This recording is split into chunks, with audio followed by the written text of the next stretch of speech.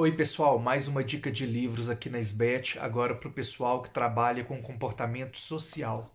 É esse livro aqui, olha, Comportamento Social, Genes, Ecologia e Evolução. Ele é um livro de Thomas Zeckley, Alan Moore e Jane Condor. Bom, é um livro já um pouco antigo, de 2010, mas é como se fosse um livro texto básico sobre o tema de comportamento social dos animais, tá? Então traz informações básicas, estudos, exemplos de estudos. É bastante legal para quem quer conhecer um pouco mais sobre comportamento social.